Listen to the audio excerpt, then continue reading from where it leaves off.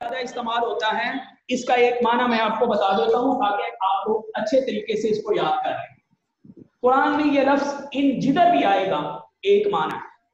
इसको कहते हैं ग्रामर में शर्त। इन शर्तिया कहते हैं। इसका माना है अगर। तत्तकुल्लाह। अगर तुम अल्लाह से डरोगे। अगर तुम अल्लाह से डरोगे तो क्या होगा? यज अल्लाकुम वो तुम्हारे लिए पैदा कर देगा। यज अल्लाकुम वो तुम्हारे लिए तुम्हारे लिए पैदा कर देगा। पर पैदा कर देगा। इसके बाद ये लफ्ज है फुरकानन, ये एमसीक्यूज होता है मेरे बच्चों। फुरकानन, ये बोर्ड में अक्सर है, ये लफ्ज एमसीक्यूज आया हुआ है फुरकान इसको कहते हैं अमरे फारिक। अमरे फारिक क्या होता है? हक और बातन में इम्तियाज़ करने की कुत पैदा कर देता है। कब अल्लाह पैदा करता है? जब इंसान अल्लाह से डरता है तो अल्लाह तबारक ताला बंदा मोमिन के, बंदा मोमिन और काफर के दरमियान हक बातिल का जो पहला मार्का गजबा बदर हुआ था। आपने शुरू में ये पढ़ा होगा कि गजबा बदर कब हुआ? गजबा बदर दो हिजरी सत्रह रमज़ान मुबारक को हुआ। तो कहा कि हक और बादल में फ़र्क करने की कुत अल्लाह ताला बंदा मोमिन के दिल में पैदा कर देता है। दोबारा सुन ले मेरे बच्चों। या युहल्लदीना आमनू, ए ईमान वालो इन अगर तुम अल्लाह से डरोगे यज अल्लाह तुम फुरकानन, वो तुम्हारे दरमियान, हमारे दरमियान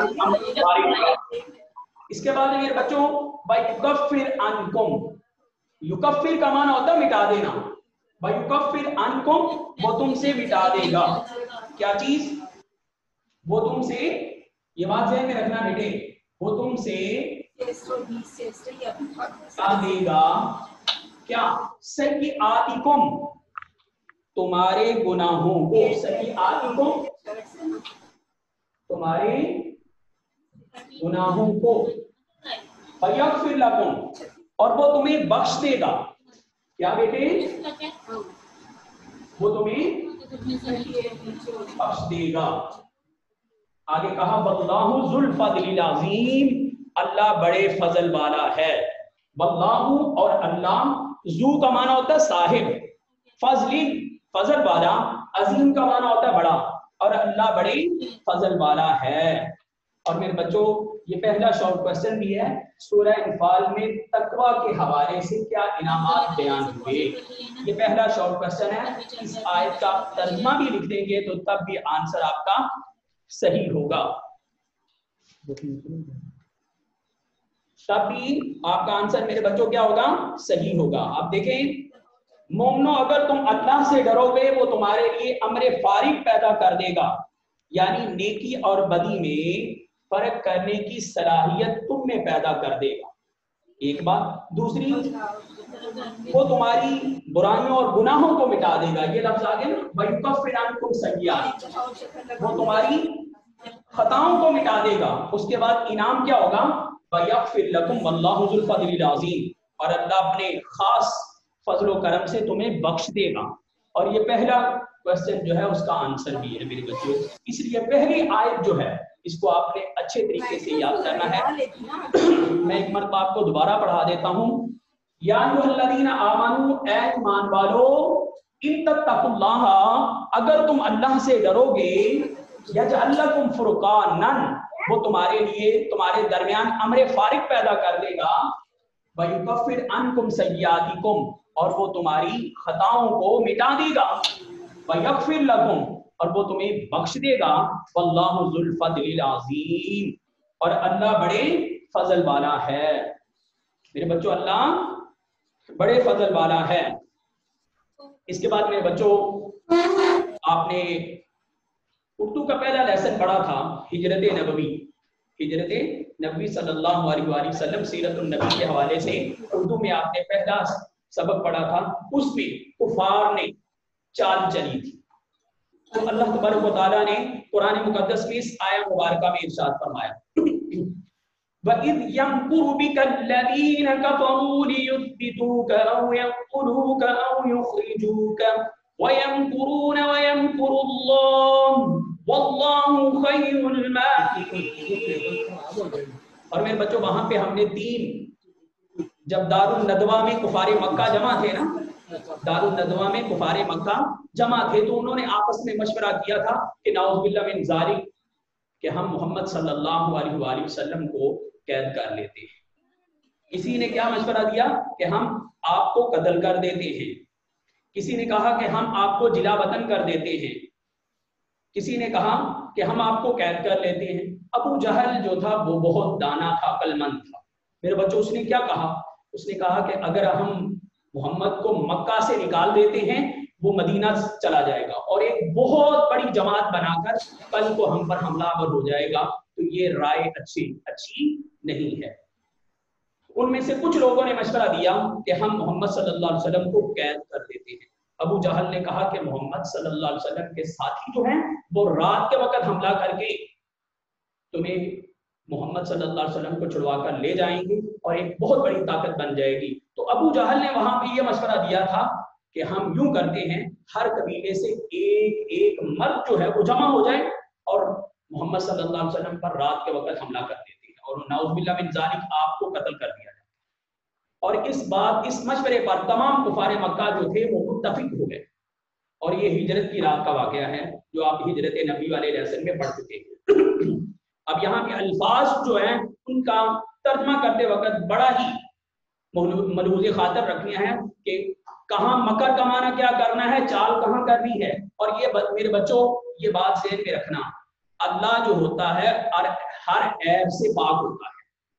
अल्लाह क्या है? हर ऐप से पाक है। और जब हम कहें करेंगे ना मकर कमाना वल्लाहु खैरुल माकिरी अल्लाह बेहतर चाल चलने वाला है। अगर हम यहाँ पे ये कहेंगे अल्लाह बेहतर मकर करने वाला है तो बेटे मकर करना ऐब होता है। और ये अल्लाह की जात के मुनाफी है। तो मेरे बच्चों, सबसे पहले देखो वह इज़ यम बिका ए मोहम्मद, याद करो उस वक्त को। यम बिका जब वो आपके बारे में चाल चल रहे थे। अल्लाह काफरू, बोलो, जो काफर थे, क्या चाल चल रहे थे? लियुस बीतू का कि वो आपको कैद कर दें। और यकतुलू का या आपको कत्ल कर डालें। और युखरिजू का, या सरजमीन मक्का से निकाल दें वयम कुरूना, उधर वो चाल चल रहे थे। कहाँ बैठकर? दारुन नदवा में। वयम कुरूना, उधर वो चाल चल रहे थे। वयम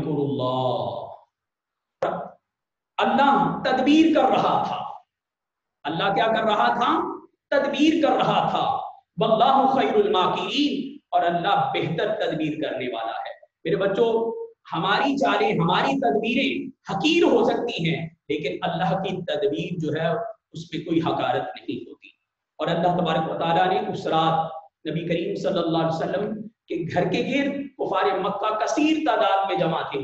आप सल्लल्लाहु अलैहि वसल्लम अपने घर से बाहर निकले, कुफार की आँखों के सामने से वहाँ से गुजरते हुए हर में काबा पहुँचे और हर में काबा से आगे आप जानते हैं कि जैसे आगे आप वसल्लम जो थे गार सौर की तरफ़ रवाना हुए और आप वसल्लम का एक मंजर यहाँ पे बयान करता जाऊँ मेरे बच्चों ईमान को ताजगी मिलेगी वो मंजर क्या था? जब आप वसल्लम बैतुल्लाह शरीफ को देख रहे थे तो आपकी आँखों से आँसू बह रहे थे और आप वसल्लम वहाँ पे ये अल्फाज फरमा रहे थे ए शहर मक्का तू मुझे तमाम शहरों से पसंद है लेकिन तेरे रहने वाले तेरे फर्जंद जो है वो मुझे यहाँ रह, रहने नहीं देते इसलिए मैं ऐसा ज़मीन मक्का, मैं तुम्हें छोड़कर जा रहा और आप सल्लल्लाहु अलैहि वसल्लम की बैतुल्लाह के साथ एक वालिहाना मोहब्बत की अलामत थी यहाँ पर।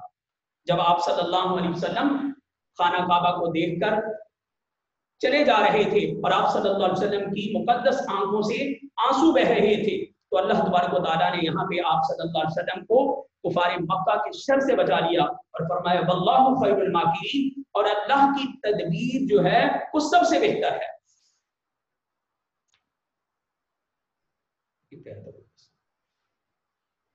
आगे वाली आयत आयत नंबर तीन देखे बेटे वइदा तुतला अलैहिम आयातुना qalu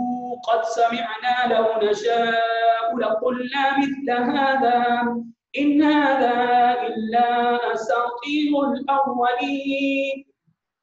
और मेरे बच्चों बड़े बहुत ही खूबसूरत आयत है वहीदा तुतला अलैहिम। जब वहीदा और जब तुतला पढ़कर सुनाई जाती है क्या? कुरान मुकद्दस की आयात बैनात अलैहिम, उन पर आयातुना, हमारी आयतें जब उनको पढ़कर सुनाई जाती हैं, कालू, वो कहते हैं, कब समेना। यकीनन हमने सुन लिया। लव नशाऊ, अगर हम चाहें, लकुलना मिसला हादा। हम भी इस कुरान की मिसल कह सकते हैं। और साथ ही उन्होंने कुफार मक्का ने क्या कहा? इन हादा अव्वलीन. मगर ये तो पहले लोगों की हकायतें। और अल्लाह तबारक ने कुरान मुकद्दस में मेरे बच्चों यहाँ तक फरमा दिया फतू भी सूरत ही तुम तो कहते हो हम कुरान की मिसल लेकर आ सकते हैं। अल्लाह ने तो कहा कि तुम इसकी मिसल एक सूरत ही ले आओ, एक आयत ही ले आओ। लेकिन तुम किसी सूरत में कुरान जैसी कोई आयत ला ही नहीं सकते। तो इसलिए अल्लाह वो उन्होंने कुरान को कहा, इन हादावरीन ये तो पहले लोगों की हकायतें हैं। मेरे बच्चों, ये आज हम हमने तीन आयात पढ़ी हैं। आयत नंबर उनतीस, तीस और इकतीस। मेरे बच्चों, आपने इन तीन तीन आयात को अच्छे तरीके से याद करना है। अगर कहीं पे कोई आपको प्रॉब्लम आ रही है तो आप एसएमएस कर सकते हैं, मैसेज कर सकते हैं। ताकि आपके आपका जो जो कोई भी सवाल है उसका आंसर भी दिया जाएगा। जहाँ कहीं आपको समझ नहीं आई तो बेटे उसको अच्छे तरीके से आपको दोबारा भी प्रीपियर कर, करवाया जाएगा अच्छे अच्छे तरीके से बताया जाएगा। तो मेरे बच्चों किसी बच्चे का कोई सवाल है तो काइंडली ज़रूर कीजिए मैसेज करते मेरे बच्चों अगर किसी बच्चे ने सवाल करना है।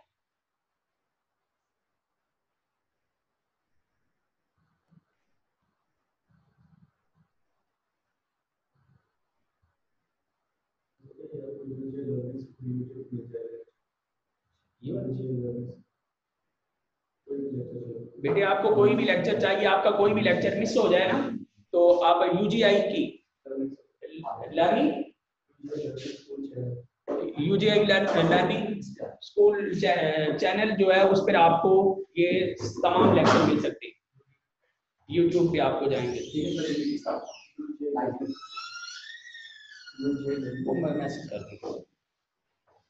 जी मेरे बच्चों, एक मरतबा दोबारा देख लें कि आमन इन अगर तुम अल्लाह से डरोगे तो वो तुम्हारे लिए अमर फारिग पैदा कर देगा और वो तुम्हारे गुनाहों को बख्श देगा, तुम्हारी खताओं को बख्श देगा।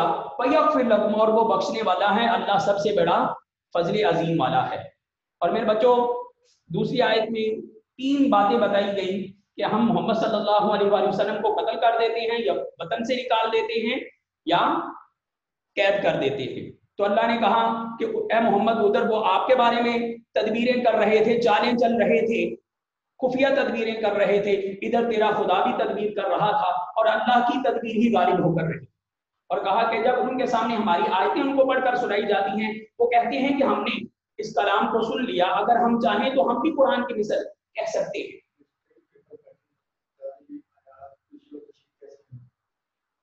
जी मेरी बेटी ये जो आपने सवाल किया कि पेपर में आयत का तर्जमा सिर्फ़ आता है, चार नंबर का।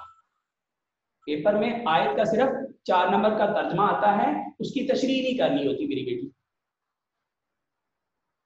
और इंशाल्लाह कल वाले लेक्चर में आज क्योंकि टाइम हमारा, हमारे पास कम है, कल वाले लेक्चर में बकायदा आपको बोर्ड का पैटर्न के साथ वो क्वेश्चन भी बताया जाएगा कि किस तरह आपने सॉल्व करना है, तर्जमा करना है तो किस तरह करना है। वो भी आपको व्हाइट बोर्ड पे आपको जूम करके अच्छे तरीके से समझा दिया ओके बेटे, अल्लाह हाफिज वालेकुम